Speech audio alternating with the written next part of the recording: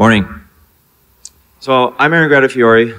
I work at a company called ISEC Partners that's based out of San Francisco. Uh, we have an office in New York and uh, Seattle as well. This is Josh Yavor. He's a coworker of mine, and uh, this is The Outer Limits. And The Outer Limits was a 50s sci-fi show that was really cheesy.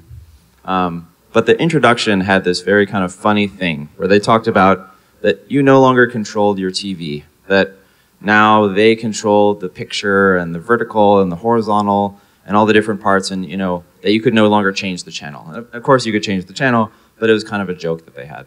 But we thought, well maybe we could do that now with, you know, some some attacks. So does anybody here know what movie this is from?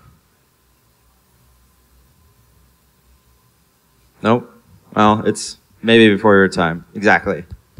So what he's doing here is he's actually putting on the outer limits, and you can see it there in the the uh, the corner there. And he's you know he wants to watch that show.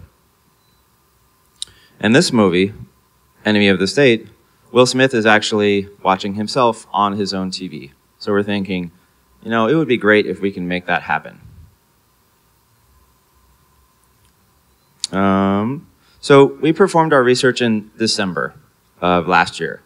And uh, we reported the issues that we found to Samsung in uh, early of January of this year. And, you know, they, they, we worked with them to work on some fixes and get some through some things. And they, uh, you know, issued, issued some patches. And, you know, they said, okay, you guys can talk about it now. We've got, you know, people fixed and, um, and uh, you know, after June, you can talk about it. So we spoke at Black Hat, and uh, now we're speaking here to you guys. So you know, we know a lot about smartphones, and everybody has one, right? You can see, you know, the uh, iOS uh, 7 development uh, line on the bottom there. And, you know, everybody has a smartphone. I'm sure everybody here has a smartphone. And, you know, there's lots of other smart devices. We've got smart watches, smart cars, smart fridges that have Wi-Fi, smart windows, even smart houses. And, uh, you know, this is a movie that came out in the early 2000s before we even actually had smart houses. And we even have smart toilets. And this is not a joke. In Japan, you can buy a very, very expensive toilet that actually has Bluetooth. And you can, you know, use your smartphone to uh, raise and lower the seat because maybe, you know, you're, you're scared of germs. But, you know, we're here to find about, about the smart TV.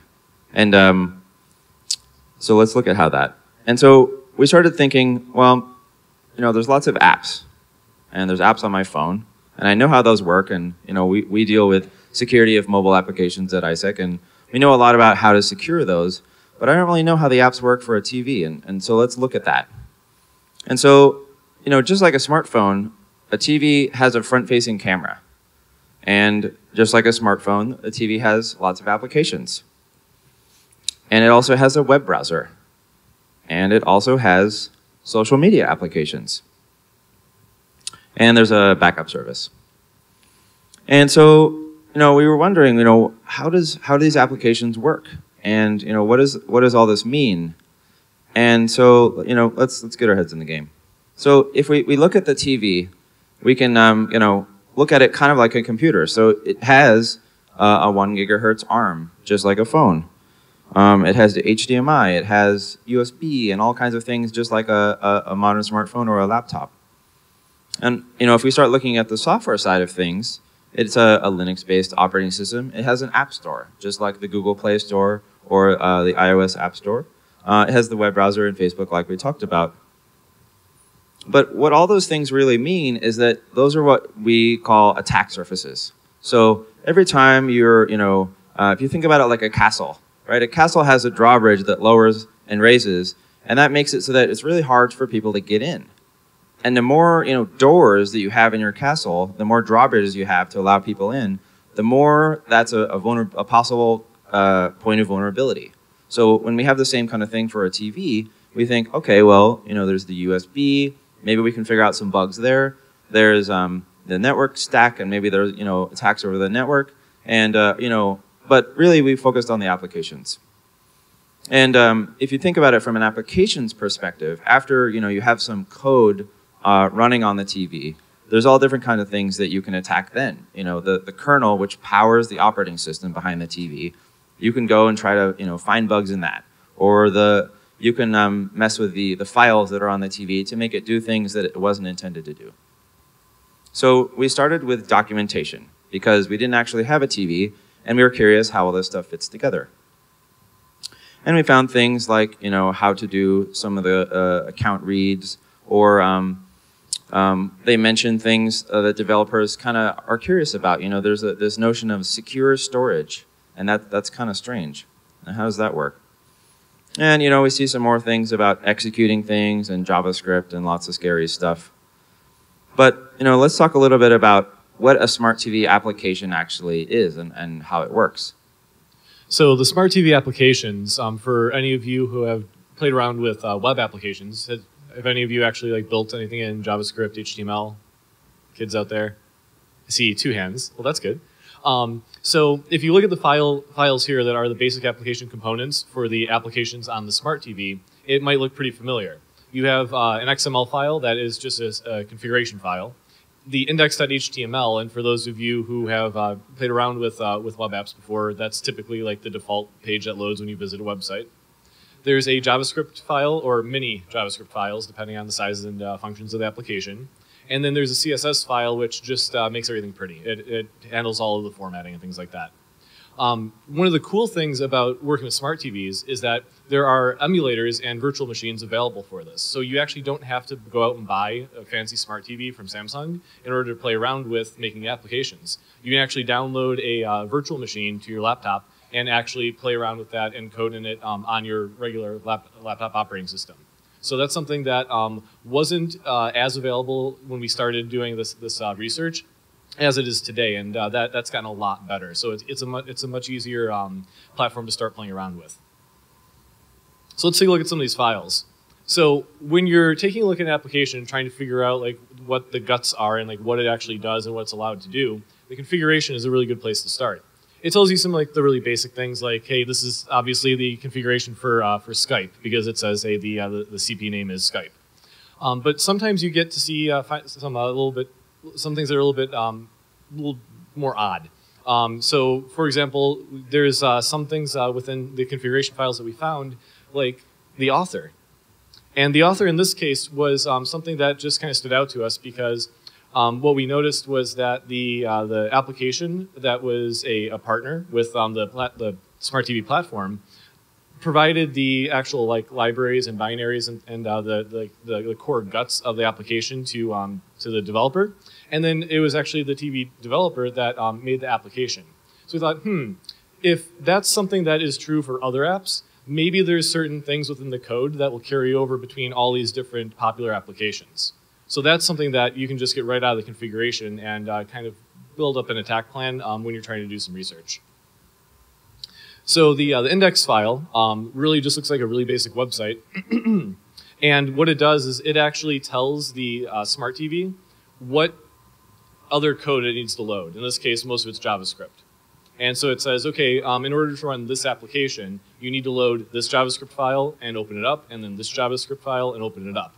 So once we were able to learn how to read these from all these applications that we found on the TV, we were able to figure out, okay, so an application like Skype needs to use the camera that's built into the TV.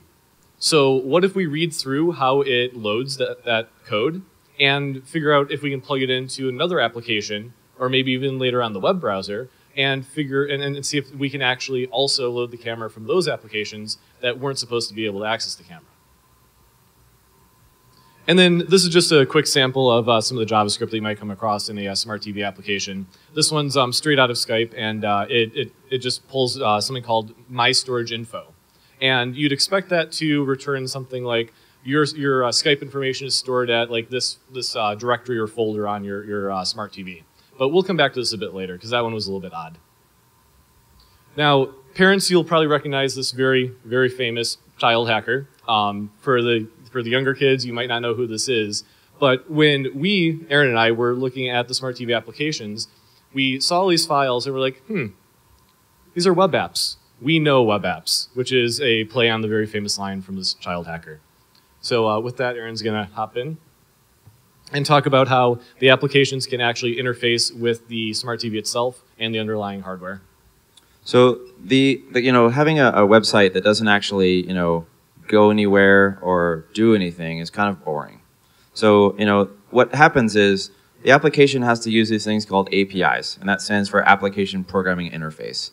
And essentially what that means is it's a door from the HTML into the operating system to do something like write a file or connect to a, a network address or, uh, or, you know, do something uh, to an IP, things like that. And so, you know, these APIs provide different things, and there's a whole number of those. So there's all kinds of APIs um, that do all kinds of different things that, you know, we, uh, as a, you know, security experts want to investigate more in how they work and what they do. And there's tons of these APIs. There's, you know, there's different kinds of APIs. There's different APIs for dealing with the TV, with dealing with the network, things like that. So we thought, okay, well, let's, you know, let's take an application and we'll put some malicious file in it and see if we can get that to be run when we install it. So we put the TV in the developer mode, uh, which is just logging in as the, the, the name develop. And we see this message, failed to install, please visit this security page. So we are like, hmm. And it turns out what it was is there's a little thing that checks to see is there a executable binary called an ELF on Linux, ELF and it says, is there an ELF in this file? And it, the code that's looking at the application when you install it says yes. And so it blocks that install. So we were thinking, hmm, how can we bypass that? So because it's looking at that, and because it's looking at some of the other code that we wrote, it's actually analyzing that and, and kind of trying to filter out some things, kind of like event antivirus in a way. And so what we did is we just kind of did something called obfuscation. And we just made the JavaScript code that normally looks, you know, readable and easy, and we just turned it into gobbledygook. So, but still, we were caught red-handed. We couldn't, you know, get our malicious code installed, and you know that, that made us kind of sad. So then we noticed that there's a zip function, and that can package things. So we thought, okay, let's put our, our ELF binary inside of our zip, and then we'll unzip it and maybe that'll hide it from the scanner. And it turns out that it did hide it from the scanner. So when we were looking at the Smart Hub, which is the main part of the, the TV when you have it booted and there's all the applications and things, um, we looked and, and saw you know user code and normal code, and then we saw manager. And we thought, that was interesting, weird. And there's all these very important sounding files, uh, Smart Home and EMP and Common, and uh, you know we're curious about that. And what it turns out is that all those files are actually controlling the smart TV itself. So not only are the applications written in JavaScript and HTML, but the OS that you're normally using to launch those is also written in JavaScript and HTML. So this is the picture of the smart TV. And you can see there, you know, it has lots of applications and a web browser and things. And it turns out that, again, that whole thing, all of that, is actually kind of like a website. And so again, we were thinking, hmm, well, we know a lot about web application attacks because we get paid to hack things. And so, hmm, that's interesting.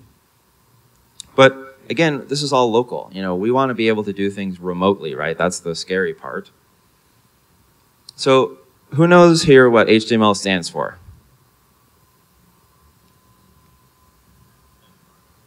Yes. So hypertext markup language is how the web browser, how the internet works, uh, or how the you know when you when you're surfing the web, which is now an old term, uh, you you know are looking at websites. Th those are mostly powered by HTML, and I'm sure some of you know HTML and, and have written some websites probably even earlier than than I started. So just to give an example of how that can kind of go bad, this is a, a pretty basic example. So what happens is there's this JavaScript part at the top, and it takes some input and, it and we can see there that it's expecting a name, which is what var name means. So var name input Aaron, my name. And then what happens is when I visit that page, uh, the code of the page in HTML says, hello Aaron, welcome to r00tz. But how can that go bad? So instead of my name Aaron, what if I put in there some other HTML? So I put in a blink. And the blink tag does obviously make it blink. Um, and then I put in H1, and that makes it big. So does anybody know what's going to happen when now when I visit the site? Exactly. Now when I visit the site, it's going to say hello, and then Josh is going to be really big and blinking. And so, you know, if this was a, a some other website and it wasn't, it wasn't intended to have, you know, if it was my website and he could just put his name on it, you know, that that might make me angry. So let's talk a little bit about some of the social media applications that are on the TV. So just like your smartphone, um, smart TVs are pretty popular for use with so social applications, and all the typical social media applications are available on it. Um, some of them are even custom made for uh, just for use with other smart TV users. But um, for our, our research, we wanted to focus on um, uh, really, really popular, well-established, um, and uh, and uh, uh, social media applications where you're going to have lots of friends and contacts. And the reason we wanted lots of friends and contacts is because if you think about it, social media networks always have something called remote content injection. What that means is that on your phone, you don't actually control what information appears on your phone when your friends update their Facebook status or send you a message on Skype or something like that. Somebody else is actually in control of the content that appears on your device. And so one of the things that we know for sure is that there are lots of people that use social media that have their accounts um, be compromised and hacked. And you may have seen that before where some of your friends' accounts start posting random links and then they come on and they're embarrassed and they say, please don't click on those, I got hacked. So we're thinking, okay, so with that JavaScript and HTML, um, what's called an injection attack that Aaron was talking about, what if we took something that was slightly more malicious, more malicious than saying, hey, what's up, and put that into social media applications and sent it to people on smart TVs. Would that actually render or be executed inside of that social media application, or would it just show up as the text, you know, script alert, hey, what's up, end script?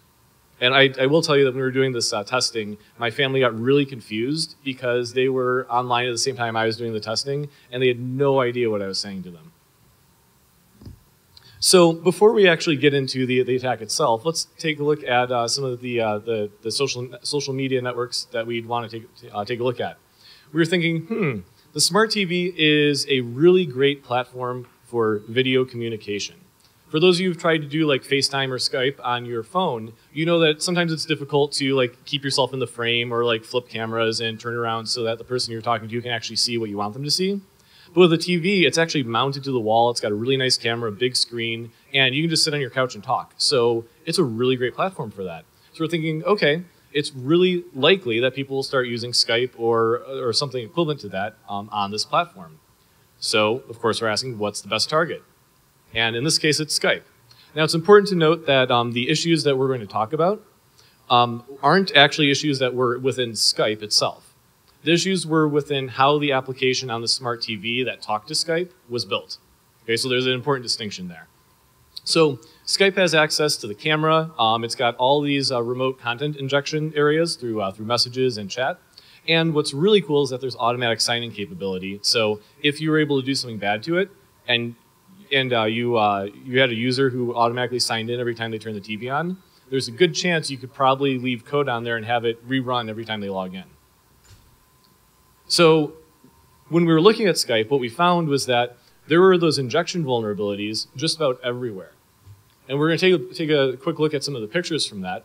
Um, but basically, it boiled down to even if I was just using the keyboard and I input script um, or uh, JavaScript or HTML into my name a, or into my uh, profile name or into a contact I was adding, that would actually show up in the application. So let's take a look at that. So this uh, I think you can still see that. Um, in the middle of the name here, there's an image tag, which is an HTML tag that's supposed to download an image and show it. And when it fails, it shows like a default image, and that's what you see up there. So I put an image tag in my name, and we're thinking, oh, hey, this is, you know, this is really cool research. Um, it's, it's, a, it's bad as far as security goes, but this is something that we're going to dig into. And then remotely, what we found was that when my user talked to our, our smart TV user, and my, um, my mood message or status was updated to include that image tag, it also showed up on the screen. So let's have some fun with that. At the top here, you see the mood message that we had to set um, in Skype that would then show up in our, uh, our smart TV user. And what it did was it said, okay, here's some JavaScript. We want you to download this other JavaScript file from our website. And in the bottom there, you actually see that JavaScript code. And you don't really need to know too much about it um, as far as like what it's doing at the top part. But at the very bottom, one of the things that we found with uh, the API system that Aaron talked about earlier was that we could actually call this uh, the file plugin.copy command and actually execute system commands like we were actually like um, at a command line console. And so we're actually able to turn off the operating system within the uh, smart TV. So if we changed our status or sent you a message on Skype while you were on a smart TV, you'd see it for a split second and then your TV would reboot.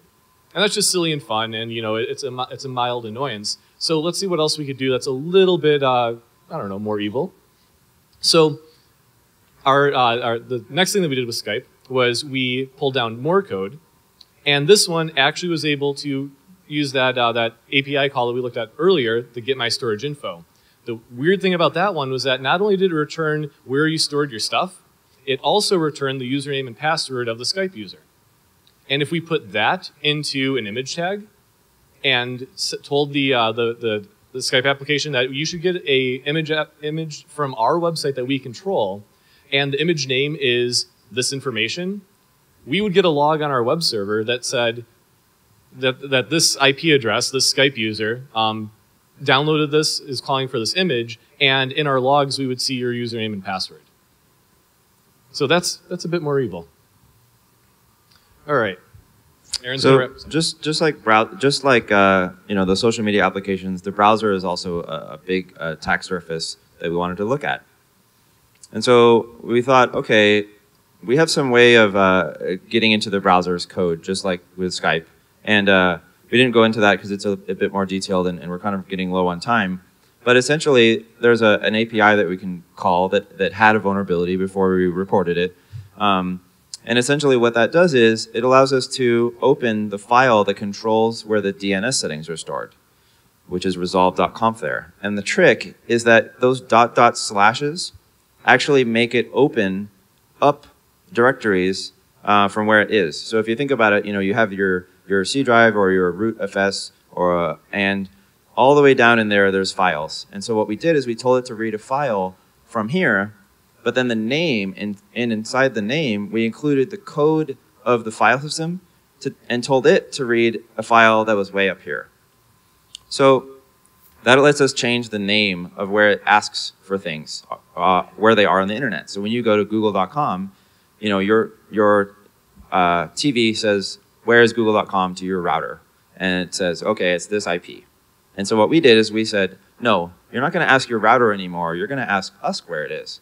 So now we can say, oh, google.com, oh yeah, that's Yahoo. And so there's some other things we can do from the browser. So let's see how the camera stuff works. And I, I have to pull up a video. It's going to take a second.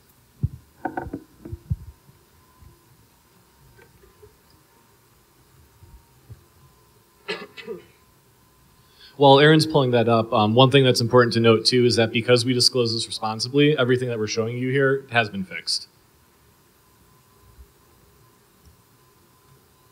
And uh, so what you'll see here is this site that we build, and then uh, in a quick second, the camera is going to actually pop up inside the browser, and it's going to show you what it's looking at. And it's actually looking at a coworker, or a friend of mine, and he's going to bounce out of the screen, right, because he doesn't want to see himself on TV. And so, and I'll, I'll play it one more time because it of was kind of quick. But um, essentially, there is the camera viewing it. Uh, what you know, you see what the camera sees, and um, you know he realizes it, and, and uh, he uh, bails. So we had to do some extra work to actually have that video show up on the screen in a uh, real life attack that would actually be hidden behind the browser and you would never know that the camera is actually on. So uh, I wanted to definitely talk about responsible disclosure because it's it's kind of a, a big deal in the industry now.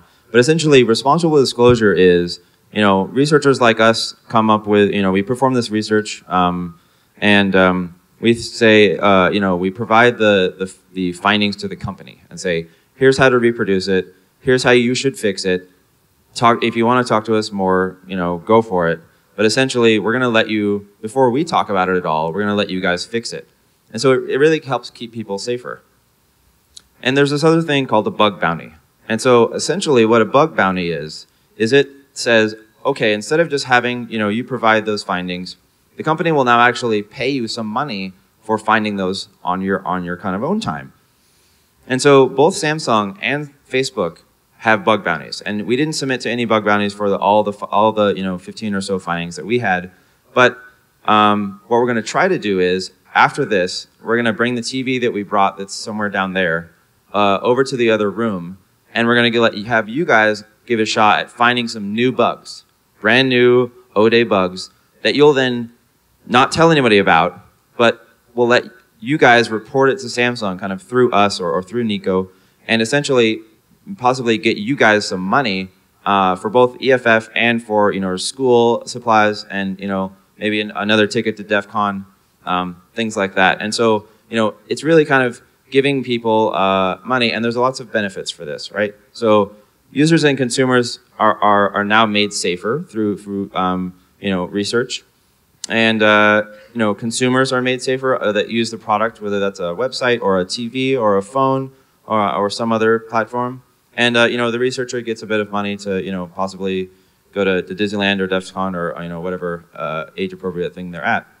And you know this this kind of attack that we're talking about here is going to become more and more popular as more and more devices are built purely out of HTML and JavaScript. And that's something that you know we wanted to bring up to the industry, and we talked a lot more about it at Black Hat. But essentially, you know, just like normal web applications, web or uh, applications that are written in HTML and JavaScript need to have their input filters. You know, a, web a website shouldn't have SQL injection, just like a local application shouldn't have SQL injection. And so, you know, big thanks to some of our coworkers at, at ISEC Partners. Big thanks to Nico, to, to Samsung for working um, well with us issue and kind of maintaining communication with us and, um, and some, some other researchers there as well. So uh, with that, um, are there any questions?